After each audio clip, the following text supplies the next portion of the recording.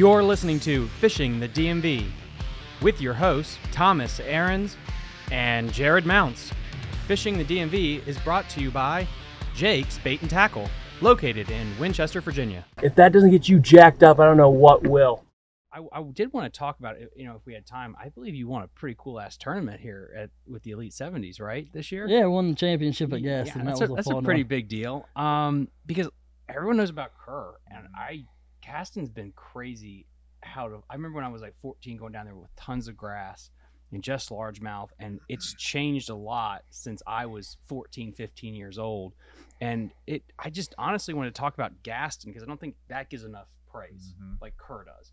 But then also I want to talk about your win if you want to get get into that. Now, you've told me is that that's your one of your top places? Are you like you said? That is by far my favorite lake in the state of Virginia. To Really? I think you told me it sets up. And now like Anna, Chesden's right? coming up on it because I've only been there once for about five hours, but Gaston's by far a favorite. And yes, it fishes Says just so much like like Anna. Anna. Okay, cool. Yeah, talk, like talk about like gas. Now, Gaston, guys, for you don't know, it's um, it's the lake that's just below the uh, Lake Kerr on. I think it's the Roanoke River system of lakes. I think it goes Kerr, it goes Gaston, and then I think Roanoke Rapids. I think is Yeah, Roanoke Rapids Roanoke is Rapids the next one down next. below it. and they're completely different. hmm And so totally different. Gaston, where you had your big big tournament win, like what what is that like? Like you said, it fishes like Anna. Yeah, it fishes just like Anna, except for now we got spotted bass in it.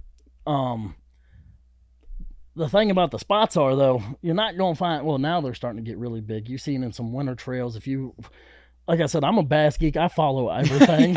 uh, you're starting to see a lot of times, like North Carolina does a lot of their tournaments on Gaston Mhm. because two thirds of the lake is He's in. North Carolina. North Carolina. Mhm. Um, there's guys bringing in five, six pound spotted bass out of there now. Wow. Um, which would be the state record for Virginia, but since they're launching out of North Carolina, it doesn't consider. So, that's crazy. um, but you're starting to see those fish get brought out of Gaston, which I'm not appraising. Oh my God, we need spotted bass in every lake. It actually ruined the lake, in my opinion, for the largemouth fishing. Um, What what was the? Di- did you see a difference in bass behavior or just the size? oh of the yeah, you, you're came in? rarely catching a largemouth anywhere. That's crazy. It's it's so hard to get on a largemouth bite on that lake anymore. So you think it's nowadays it's primarily a spot lake then? Give it go in five years, it's going to be the next Lake Hartwell. Really? Yep. Wow, Wow.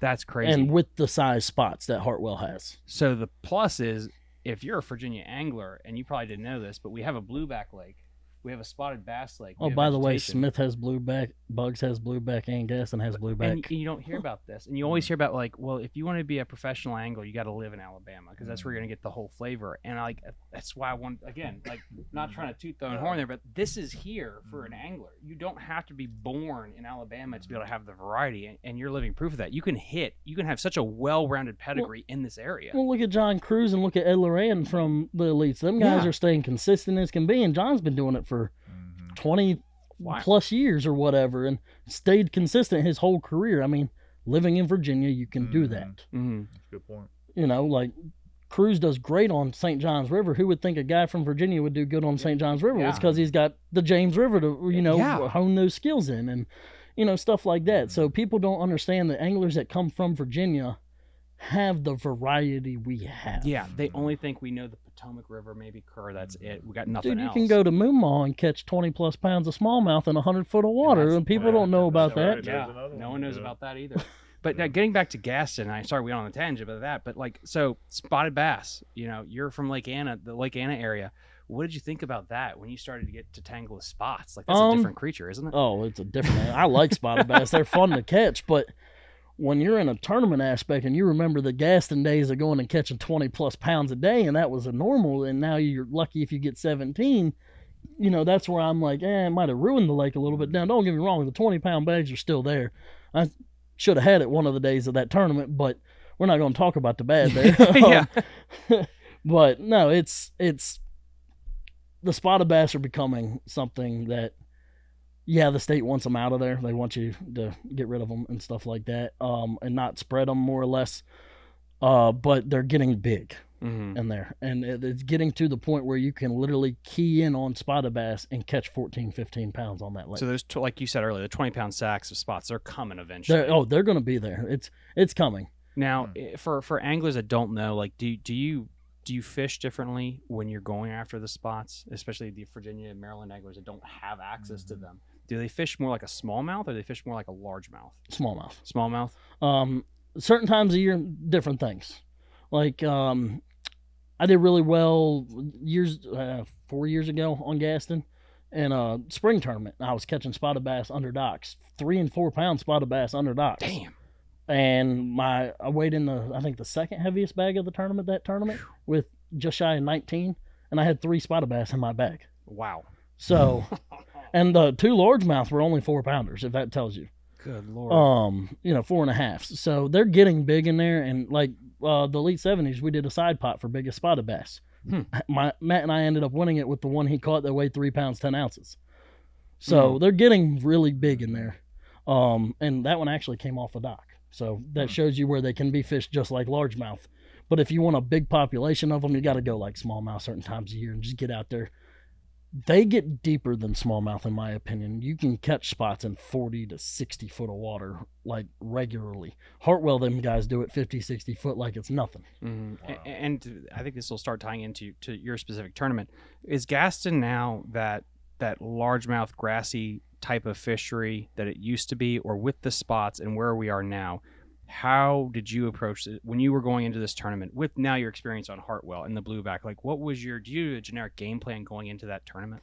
I did. I actually um so Matt and I had talked about it. He had found some fish, largemouth, doing a, a whole different deal up towards the river. And I had found down the lake a spotted bass deal So we for got the a morning largemouth time. version, and you got a spotted bass version in the boat. and both of them were different times of the day. Ah. So mine was a morning deal, his was an afternoon deal. So we rolled down in the morning to my spotted bass, and both days we had a limit 20 minutes, 8 to 10 pounds. of- Well, second day, not so much. But I think we had four the second day, but we had the 310 spotted bass going, you know, with 12 inch or 14 inches because it's 14 inch limit down there. Um, you know, just barely 14 inch keepers. But practice, I was catching 15, 16, 17 inch spotted bass down there. But we focused on the spots in the morning, fished some brush piles mid morning, and then ran and did the afternoon deal up in the rivers. And that's how we won that event. It ended up day That's one, we caught a limit of spots, got all the jitters away, you know, everything's going good. First brush pile we hit, I catch a four. Next brush pile, I catch a six. And those are largemouth. And then we ran up and got rid of literally every spot we had in the bag that day. Wow. Now, day two, we had the big spot and caught a bunch of little ones. Did the brush pile deal. Did not work out on day two. Ran up the river. Ended up culling out all our spots except for the big one with largemouth. So in those in those, I, was that crazy that you caught a largemouth in a um in a spotted bass area? Because you said mentioned the depth thing. It wasn't like super duper crazy. Like you you wasn't like oh crap, there's a largemouth here type of deal. It was. Oh no! When I pulled up on it, I was expecting a largemouth to Okay, bite. okay, gotcha. It was it was it was either going to be a largemouth or a big spot. Gotcha, gotcha, gotcha. you know, it was just small brush pile. One. I like to fish a lot of things that are just big enough for a big one to live in. gotcha. and okay. so it was one of those deals. It was pull up. Matt Matt actually keyed us into it. He pulled up on that stretch. I actually knew exactly what we were pulling up on because I had a brush pile there that I've known from past, and it worked out that way. That he had found some of the same deal. Like it happened to set up on the same deal he found up the river. We were just able to do it down the lake in the morning too. and this is day one. This, This is, is like, day one. one. We pulled up, caught the spot of bass, rolled over to. It was a dock. I'll be honest. It was a dock. Mhm. I had a brush pile on it, and it was a stretch of docks that I fish religiously, and it just happened to set up on the same pattern that he had found up the river. Mhm. So when we rolled over there, I was like, "Good, there's a brush pile. I'm gonna hit it. Bam, four pounder, And then you guys, and then how much weight did you have to have? How much weight did you have after day one? seventeen. You're at you're back at the hotel where you are. Are you thinking that this is like we got this, we have a chance to win this thing? Or like, what were your thoughts after day one, going into day two? We needed seventeen again to win. So you're you were thinking if we hit 17, we got this thing in the bag. Yeah, When you're in that situation where you feel like y- you got to call your shot, did you want to ch- when you when you're talking because this is the other thing too. It's a team event. Mhm. So you have two heads now. Like, did you guys? Was there some bickering in between the days of what you're gonna do? Did you already know like this is we're gonna execute such and such plan? Did you guys call audibles? Like, what was that between day the one six and day pounder two? was an audible. really? It was we were running up to go do our second plan. Matt happened to look over to his right hand shoulder like this and said, That looks good. Spun the boat a whole 360, and it happened to be a pocket that I fish in the spring. That looks good. And it oh, set up the same pattern as what we had figured up the river, and we pulled in there and I caught the six pounder. That is crazy. It was literally like boat went 360. He rolled in there and I made the cast and caught the six. Mm. Goes to show you too. You know, people don't realize how much decision making goes into fishing. Yeah. You know. Oh, yeah. And it, it sometimes it makes it or breaks it. I mean, it's sometimes a good decision, sometimes not. But And that- see, that's pretty awesome. and that was day one. eh, eh, The decisions he made, you know, we bounced the ideas off each other. It, nothing, you know, it was no one particular person that made all the decisions. Mm. But there was something like that one. Like he was like, "That looks good." I was like, "Let's hit it," and he was like, "All right." And spun the boat. We went, you know, and uh his decision making day one was flawless. Mm. Like he had Yeah. he had his plan in the afternoon. I didn't get to practice with him, so I didn't know what we were going to. We had talked about it, but until you actually see it, you don't know what you're going to do. You know? So so then you're, you're talking to him beforehand the tournament. You're working out your your pattern, your your game plan. You execute day one. Awesome. We got we got around 17. We need 17 to win have a chance to win this thing. You get back to the hotel. Um, are you guys butting head and just and just general stuff? Are you guys No, we- butting heads, or do you guys already know like guys, we're gonna execute the exact same plan, or are we gonna modify it?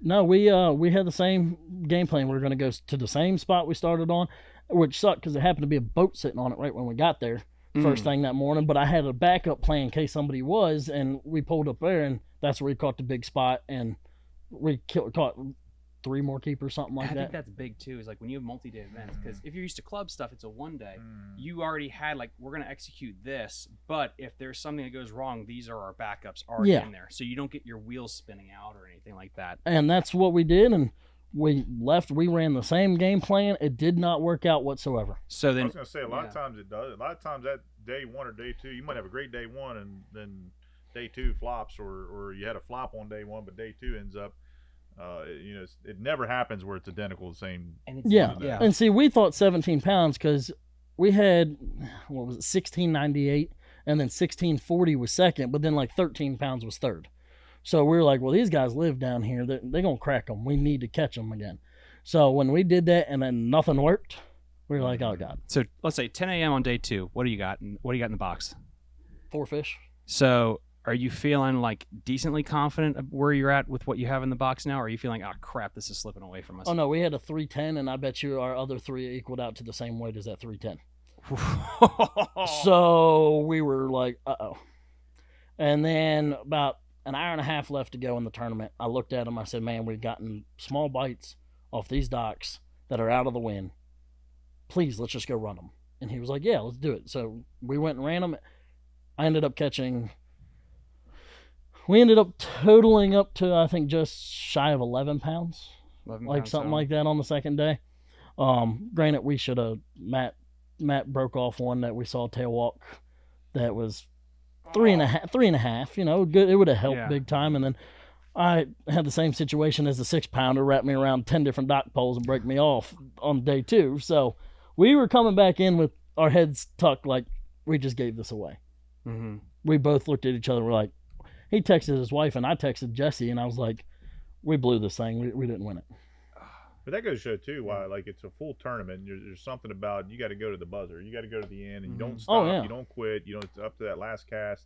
Uh, not knowing too what everybody else is doing. That's the thing, incredible thing about the fishing too, because you're thinking that, but it ends up being enough to win. But you don't know that. Obviously, you're gonna try to catch as much as you do, but you just, but you don't stop fishing. Yeah, you never don't ever stop. One cast is going to be the fish that you need, the kicker fish to to get you over the hump. And, and I think I, what I love is, is the psychological turmoil. I like to call it when you're fishing team stuff because I, you know, Mhm. I when I Yeah. fished college stuff when it was the regional stuff, um, when we're trying to qualify for the national championship or the national championship, when you're by yourself, you can be in your own head and either be your worst enemy or like every decision is great. When you have someone else in the boat, Mhm. you guys feel that tension. You're like, well, we're, f- we're, we're shit in the bed today. What are we going to do? And then you have that friction. And to me, that's what's so interesting. When you're in the moment with somebody else in the boat, how do you handle that where it's like, I want to do this, he wants to do that. Like you were able in that situation to make the call, like, dude, we got to do this. Like, is that hard for you two to like have that friction or find somebody, a teammate to be like, yeah, we click. We know when you should take control of the situation. You should. Um, it, for me and him, and for like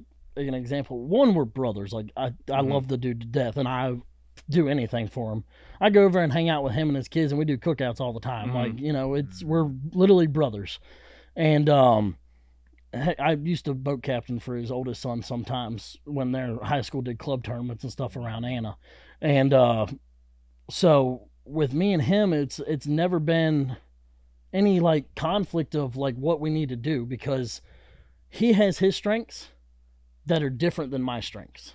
That's huge. So when we're doing something that's his strength, he take go do it, and I just sit on the back. Well, usually I'm right there behind him if he doesn't try to hook me with a popper. I hope he hears this because he'll know what I'm talking about. Um, and Rico to the back at Gaston one day. Oh, yeah, it was fun. Oh, Um, it actually didn't go past the bar, but just ripped my shirt up. Um, but you know, when it's his strengths, go do it. I'm gonna sit back here and I'm gonna just throw something to totally different, and usually it's a fairy wand, and we'll see what happens. Um, if it's my strength, skipping docks, doing stuff like that, Mhm. usually he's like, "You take lead, and I'll sit back here and do whatever I need to do around you." Mhm. and that's how we've worked things out, and it works out tremendously for us. So, and like Tidal Rivers. Tidal Rivers, it's it's one of those deals, and he he probably won't be offended at me saying this, but he has wrist issues from the manual labor and the work he's done his whole life, so he has to cast a certain way to make casts. Mhm. Um, so like with Tidal Rivers, you know, granted, yeah, a lot of the stuff we're doing's more towards my strength, but for him to be able to make his cast that he needs to do and be successful to help each other out, he takes lead. I cast left-handed all day then, Mm. And that's how we work those things out. And it just knowing what each other's strengths are and what each other can do mm-hmm. is the biggest key into finding the partner That's interesting. and having confidence in your partner hmm when it's coming to team trails. That's hard. It is so hard. Like Very. I mean, comparatively, when you're thinking about making a decision when you're by yourself fishing in open now next year versus when you have a partner in the boat, like that, it, it is a completely different animal. And that's why a lot of partners don't work out either, Yeah. based on their personalities. it's not necessarily a bad thing. It's just it doesn't. They don't gel. They don't mesh. They don't have the flexibility. Yeah. Um, and so it's not always uh, that. You're right. The team, the partner deal, it can be tough. A lot of people go through different partners, and hmm um, that's just kind of a natural thing. But uh, but it seems like you've always been able to to be flexible enough, you know, to use that to strength your advantage with different partners, whoever you're with.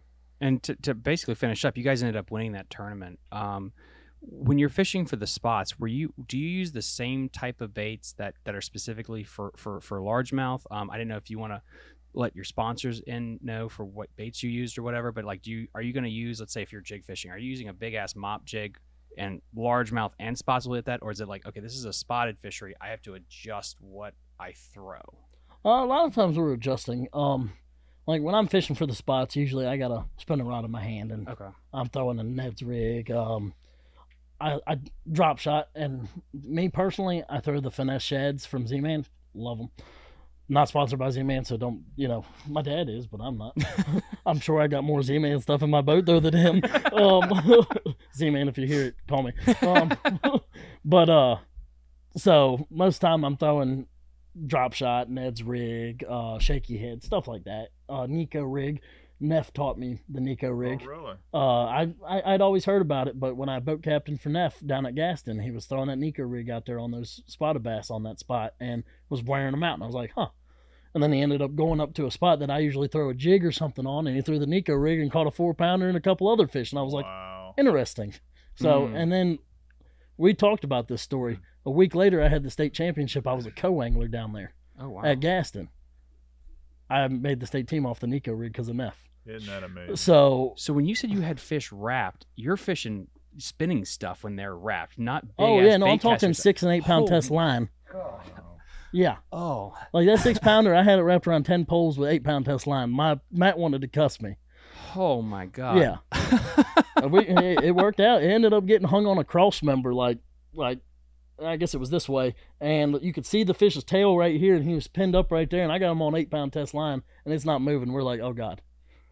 And I ended up trolling motor up to the dock, stuck my rod in the dock with a spinning rod, and he come out the cross member, and she took off under the boat, and was just stripping drag, and finally I got her back around the boat and netted her. I mean. As long as you play them right, and believe it or not, that Gamma line, I'm not sponsored by Gamma either. I got to make sure I say that, but that Gamma line is unbelievable. It never had a fray. Mm.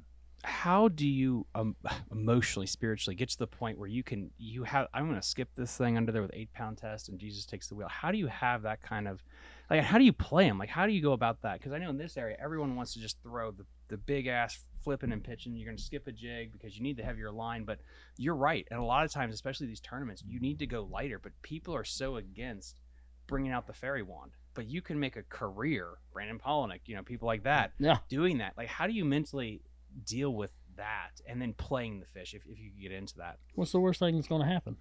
Brace your line. Mm. You're not dead. Who cares? Move on. You're doing the right thing. Just keep getting bites. Eventually, it'll go your way. That's how I think about it. Inspirational talk of the day. It sounds like too, like you're you were talking earlier, but like it's kind of like the patience thing too. where Yeah. You're Yeah. letting the fish do its thing. You're talking earlier about drag. I mean, I don't think Yeah. those guys use drag enough.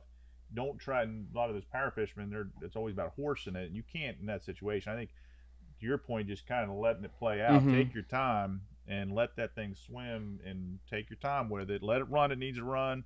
And just let the rod do its thing, let Yep. the drag do its thing, and then in time, to your point, and that's where I think people get in trouble too you try to horse it too much, try to Mhm. get it back too quick, and that's when you know trouble's going to set in. As opposed to, and like you said before, not that it's not going to happen; it has happened. But yeah. you've also been able to net a lot of fish or boat a lot of fish. Um, You just got to well. let them do their thing. Yeah, it's much right. easier to bring a wore out fish around a dock pole than a fish that's trying to run the other way. That's right. So you just got to let them go. So, i Mhm. if we may talk about your setup, was that important? Your your your rod and reel setup for this win? Like, did you have to have that dialed in? to Um, deal with well, for throwing what I like to throw, the shaky head, you know, stuff like that under docks, I I throw a TFO shaky head special spinner rod. I am sponsored by TFO. I love their rods. Check them out. I'm serious. They're unbelievable rods. I went from another rod company that a lot of people like to these TFO rods, and I was questioning it a little bit. And since I've thrown them, it's been unbelievable. Mhm. Um, so I was throwing their shaky head special, and that rod, when you're cranking into them, because I crack them with a shaky head. Don't think eight pound test, you got to lean into them. No, I crack them. Okay. I just have my drag set right, and when you have your drag set right, you can crack them as hard as you want to, and then just go from there. So I cracked, for example, the six pounder. I cracked her shaky head that rod. It just got the most perfect parabolic bend. So with that fish running around all them poles, for example, that parabolic bend's just letting that fish do its thing. It's keeping good pressure with her. And then the Lew's reel that I throw, by all means, if the drag just, I just, literally, I just had to do was sit there and hold her. When she wanted to give me some line, I just reel up a little Mm. bit, wait until she's, wait until she was done. Mhm. And the rod, the reel, the line, you just got to trust your equipment when you get into doing stuff like that. Are you running a leader setup? Or yes, a I'm running 10 pound braided line to uh, 8 pound gamma. Okay. Wow. Yeah. That that is. I don't. I people need to be hearing this because I feel like, Mm. especially because we are a tidal. Everyone thinks we're a tidal place, so Mm. big lines and stuff. But how many tournaments? I there have probably been one more on the spinning stuff. I remember Mhm. we talked to Jeremy. Like Jeremy said, Yeah. what do you say? I, I only own one spinning Yeah. rod. Yeah. Oh, I got Um, five. that's and that's probably what your success and what's going to really help you with like the small. Some of my biggest bags and wins on Potomac, I've won it on 8 pound test. Mhm. Tidal River, James River, uh, we were fun fishing last year. We had 26 pounds, me and my buddy. Mm. Just we, I got the picture somewhere on my phone.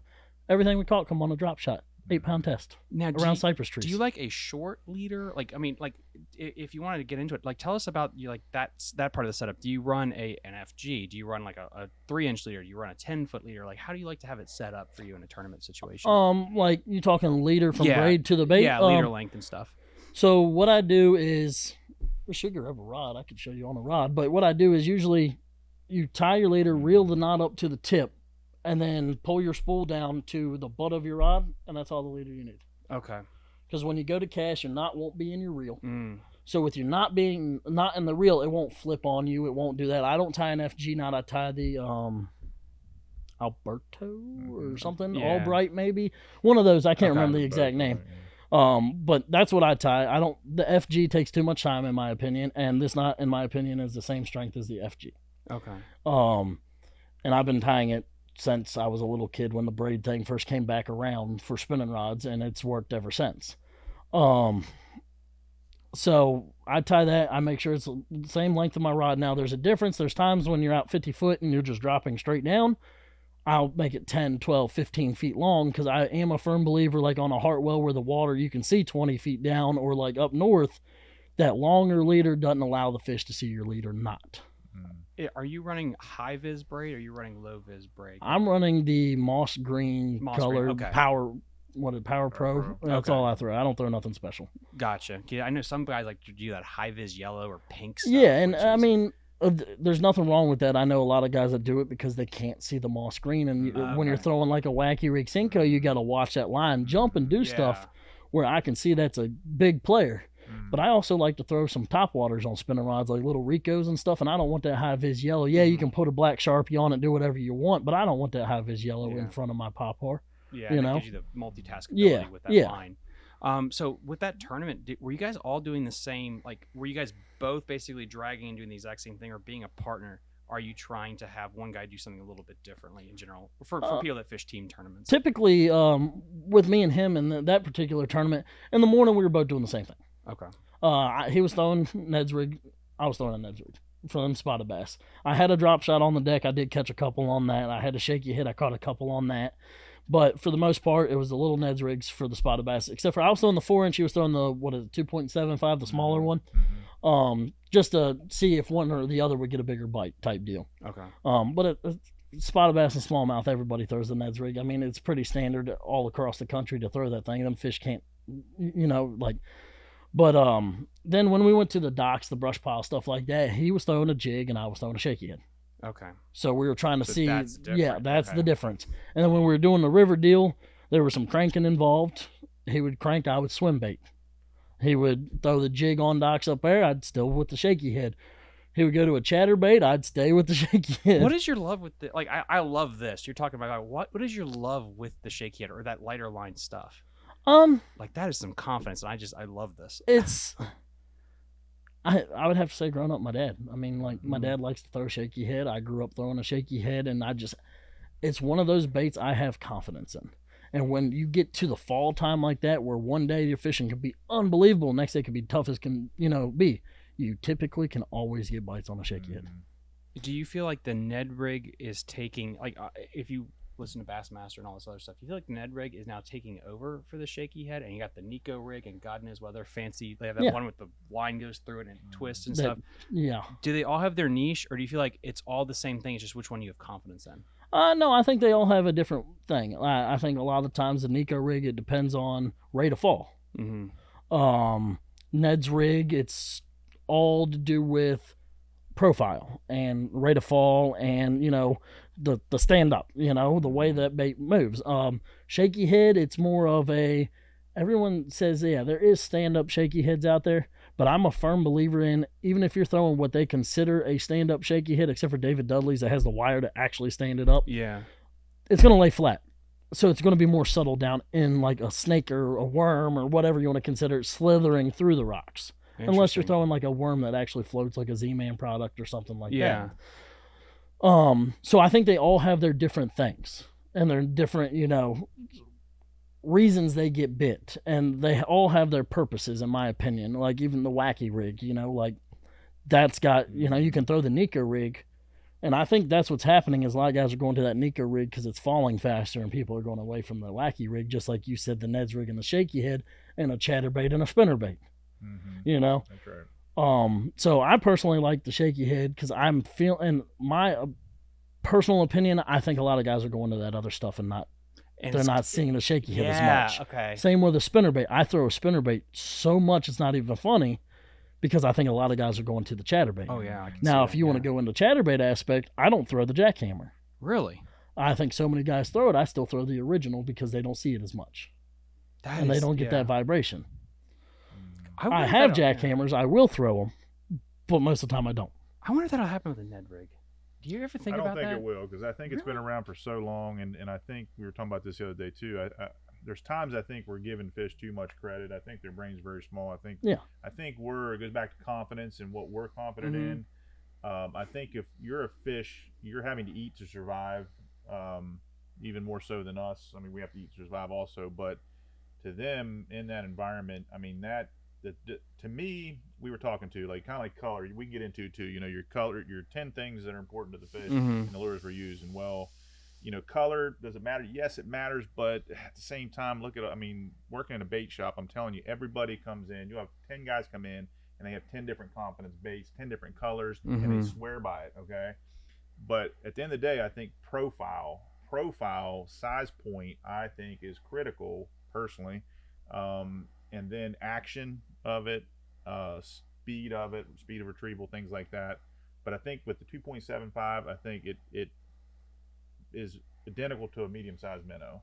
So Yeah, I think when or- that thing hits the ground and it's nose down, it's like if you watch fish, they're going to be nose down feeding, tail up, and they're swimming around. They see that they're going to take it. If Or- you're if you're jigging it or swimming it, same thing. A dying minnow that turns on its side, it's kind of fluttering around. Mm-hmm. I mean, it's opportunistic for the fish, and I think they're eat they're going to eat it every time. I don't think Go- it'll ever Go to anywhere on the Shenandoah River and lift a rock. Yep, same thing. Yeah. Mhm, The crawfish are all that size. that's right. Could, like, would this be the first? Like, when the Senko came out, big push for that. The Whopper Plopper, the the, the chatterbait.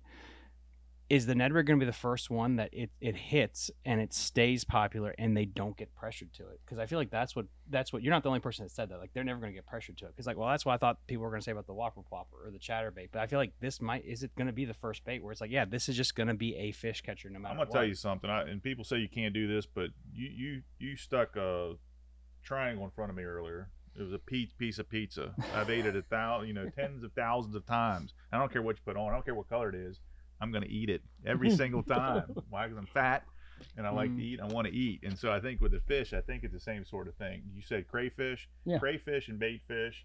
I mean, that's their primary forage. Um, and so, and to- when they, especially when they get big too. Now, big baits too. I mean, that goes into that too. Big baits, um, no doubt will catch big fish. But it is amazing about the Ned rig. It'll still catch big Yeah. fish. You'll catch small fish. It'll catch big fish. The all fish. 757 we had at Smith Mountain Lake came off the 2.75 Ned's rig. I swear by it all year round too. That's the thing about the Ned rig, year around. The season doesn't matter on mm-hmm. that. And I Nope. think also, and again, people have told me, well, you can't compare fish to us, but at the same time, I I think there's something to it. When if we eat a big steak dinner, um, baked potato steak, and we're we're full, right? You you slap that piece down in front of me. I man, I'm full. I'm not going to eat it. But you give me some M and M's or peanuts or something small, I'm gonna snack all day long. Mhm. Popcorn. I'm gonna snack on that thing. I don't know if it's something mental or not, but I think fish are the same way. They'll eat big, but I think too, back to overthinking. I think like you were talking about earlier on live scope. I mean, yeah, the fish are there, Yeah. and you're in the right spot. You're dropping it on their nose. Trout the same way. You can drop it right on their nose, literally, and they'll just turn their nose on it. Why is that? But I believe in feeding times too. I think Oh, yeah. there's times where they fed up. If they, especially big bass, they fed up big. They're gonna go back and slam on the bottom and just sit there. They're not hungry. They're not eating. They're not out. But if you drop that Ned, if you run that Ned rig by them or a crayfish, I mean, it's there, opportunistic. They're gonna eat it. Mhm. I mean, it's, and again, I might be overthinking it, but I, I do. It, there's no doubt it works. Oh, There's no doubt. no doubt. doubt No it doubt. works, and and a lot of guys still don't throw it. They won't throw it. No, they're scared they're going to get hung all the time. Yep. Or the power fishermen, they're just not. They're they're just in the power, and they're not willing to downsize and and finesse it. No, you're right. I, I think it's the hard because I'm definitely was like more of the Aaron Martens. Like Mhm. I am, you you know, I am that guy that Mhm. I will weigh everything. I'll check the the skirt Right, thread right. and all that. And I think the hardest part in fishing is to knowing. I feel like that sometimes does work. Where being that nerdy guy that picks that Oh, apart will get you some bites. There's times. But it's the hardest part of knowing when. Mhm. When do you give it that Mhm. extra effort, and when do you not? And Mhm. to me, that's in my idea of what a fishing strategy is. It's to know when to completely nerd out because that matters, and to Mhm. when like you're overthinking it, just keep it basic. Mhm. I actually saw um, the Norfork and Bull Shoals Elite Series. Matt Herren was catching them on a jig, catching them good. The last day they were at Norfork, he literally caught one that spit up a crawl. He took the time, got down in the bottom of the boat, changed his whole jig skirt out, made a whole new skirt to match the color of that crawdad. Caught a five pounder. Mm. That's the times I think, yes, you're catching them on a bait and you're catching them good, but you notice something's just a little different, you're not getting them bigger bites, do the switch up. I was watching um, the homage to Aaron Martens and the fact that he learned that they were tagging blackbirds when he was out in Arizona, Yes. and the fact it's like only him would have that mind that my bait needs to mimic a freaking bird to make Mhm. that work. By the way, they do it on Potomac.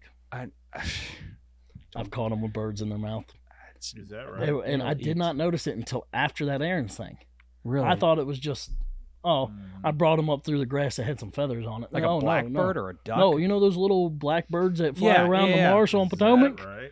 I catch them all the time on bird imitating stuff, punching the grass and throwing black frogs. That's why a black frog, in my opinion, is so good in some of the creeks up there. That's crazy. Oh yeah, I've caught them with baby birds hanging out their throat.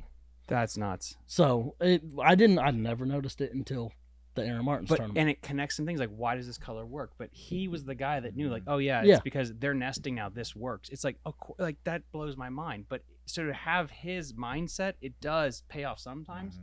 But like we said, sometimes you will go completely in the wrong direction, and it's knowing Yep. when to trust those voices in your head. And that begs the question too. Then, like, I mean, I like throwing a mouse, live target mouse. Yeah. You know, hollow body and similar to a frog, but different. Now, but now the question is too: is that bass sitting down there saying, you know, there, there's there's a frog or there's a mouse or that's a snake or that's a bird? I don't think they are. I no, think I think they, they're that- reacting. and that's like the whopper plopper. Come on, I mean that thing when it came out, I mean it seemed like a kind of a mimic bait, you know. And I can remember being up Lake Holiday and Mm. Dad's throwing it and it's throwing it and nothing, nothing, nothing, keep throwing it and thinking, well, this thing's a flop. Very first time we ever threw it, and I said, well, it's, you know, keep. We went over to a grass flat and it started getting dark, and he caught a four pounder on it, like. Never, and that's probably one of our top sellers here. One of the top sellers, a whopper plopper. I mean, the, but it's got that buzz bait pitch, a little bit Mhm. different, but it's Mhm. still you know what we were talking about color the other day like guys that think you know not turn you off to all the pretty colors and everything but if it's if you're looking up it's only seeing the bottom profile it doesn't matter what's painted on top it can look pretty but that fish is not seeing that and it's almost more the, the noise the vibration to the fish they're needing to eat it's food it triggers a response they're gonna Yeah. go eat it so I agree.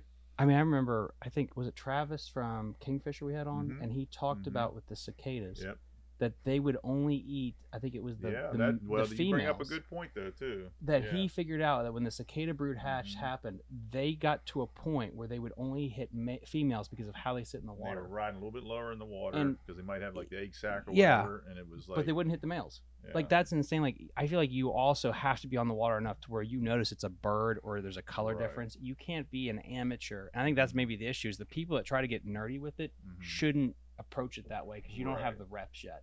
Someone like you or Travis, who's a guy who's on the water almost every day, you can almost go down that rabbit hole a little bit more Mhm. because you can f- almost feel Mhm. what the environment is doing, what the fish are doing. Mhm. If you're Joe Schmo like me who doesn't fish a lot, it's probably not beneficial for me to get in the weeds because I don't have the instinct developed yet to know this. I, Mm-hmm. I, think should keep it percentage percentage bites too is important. I mean, I Yeah. that's also plays in more. I mean, you can get bit on that, but you're not going to catch as many.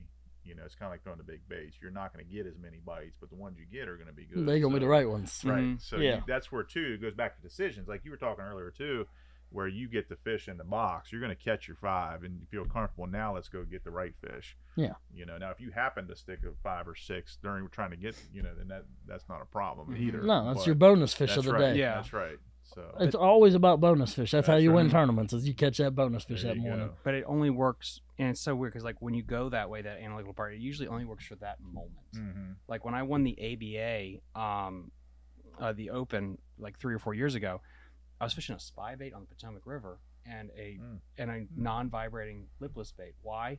Because I was fishing an area where there's six billion people, Mhm. and I had to throw something that made different. It had a different Mhm. vibration.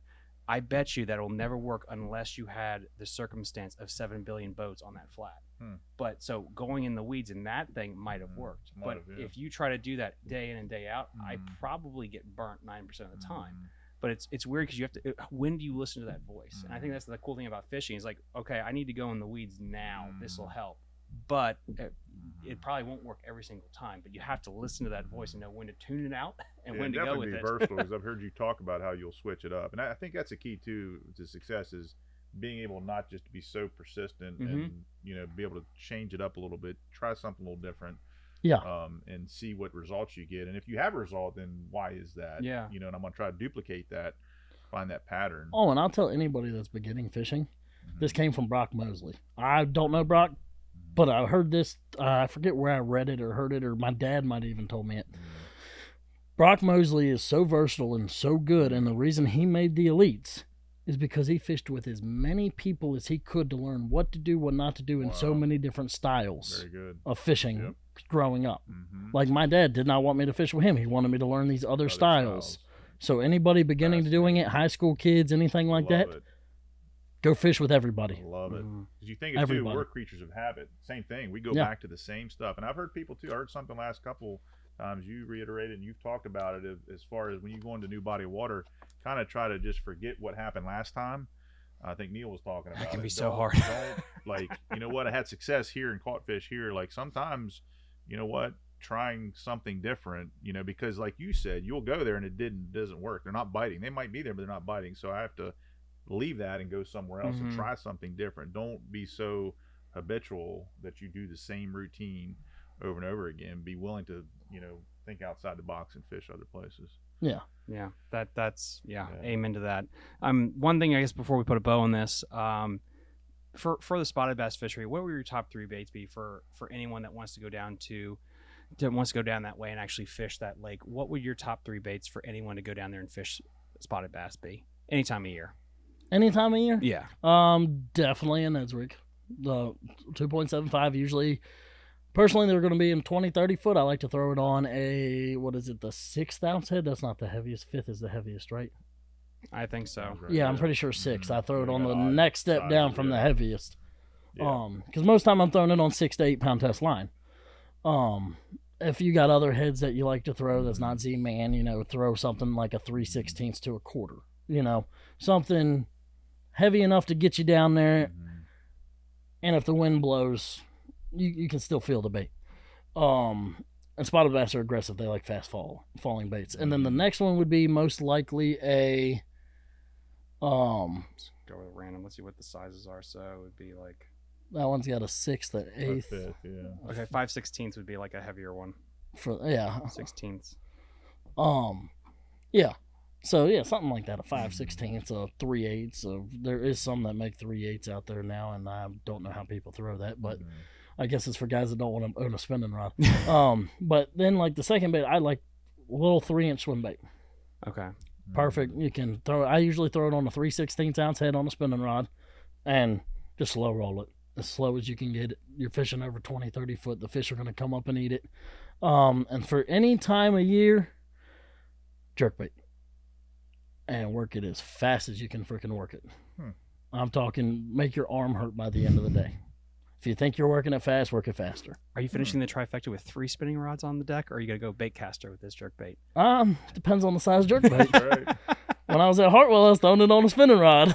but no, usually I throw the jerk bait on a bait caster. Okay. Usually it's a seven five to one reel, so I can work it as fast as I possibly can. Which is good though too, because we've talked about that before when we talked about the beginning angler. Don't think that you a lot of guys, some guys don't use a bait caster, but you can still throw these just like you've said. You can throw it on a s- on a spinning reel. You know, Oh, so yeah. don't limit yourself either to think that you only have to throw this on a bait caster. Well, so. because when you Oh, grow yeah. up, they tell you, well, you got to use bait casters Yeah, for everything, and they beat that over you in your evolution from a kid. But then you get to the pinnacle, and you're like, well, crap, I just forgot this skill Mhm. that I grew up with. Was just you need to throw the you need to throw the fairy ones too. That's right.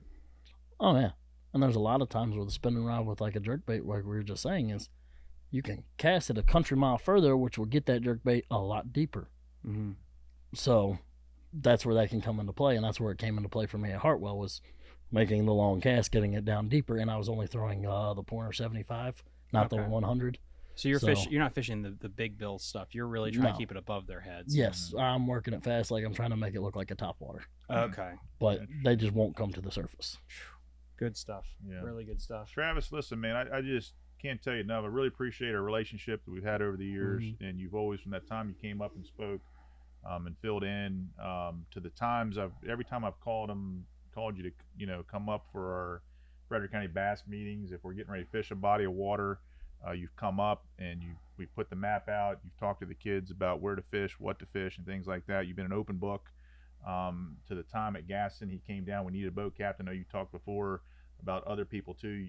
You you, know helped us out um, when you took Jacob out, and, and the night before that Gaston tournament, I alluded to this earlier. when We were talking to Jeremy, um, and we had been struggling down there, um, and then you you know talked to the boys um, the night before that tournament, and then just the things that you had to say were, I think, really profound, and and just that idea of one thing I like about you too is you you mentioned earlier about not to be cocky. Mhm. Um, good athletes. You've been out. You played baseball.